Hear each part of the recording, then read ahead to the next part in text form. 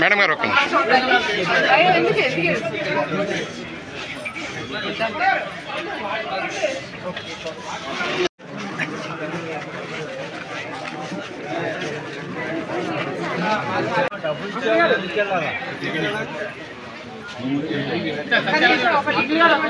Okay okay madam గురించి వెనకరాదా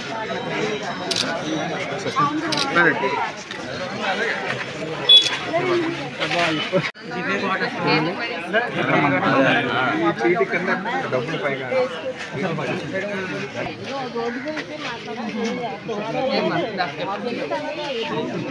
నమస్కారం.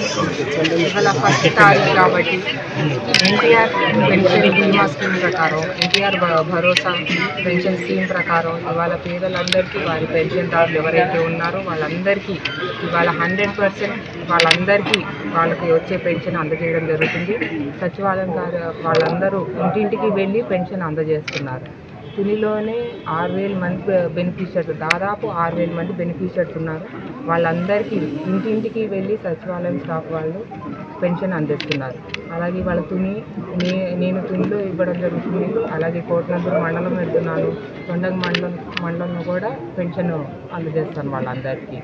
ఇలాంటి మంచి కార్యక్రమాలు మరెన్నో ఇంకా ముందు ముందు రోజుల్లో మరెన్నో ఈ కూటమి ప్రభుత్వం ద్వారా అందజేస్తాం ప్రజలందరికీ.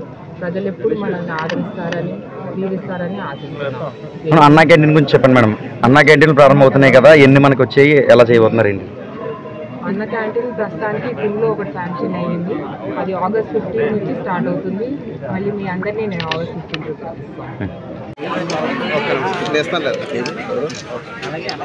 మేడం గారు ఒక్క నిమిషం.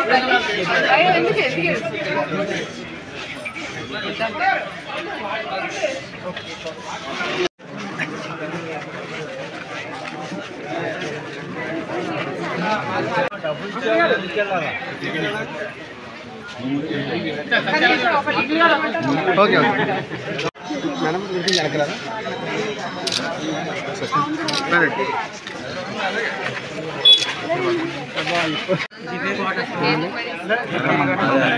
చీటి కింద డబ్బులు పైగా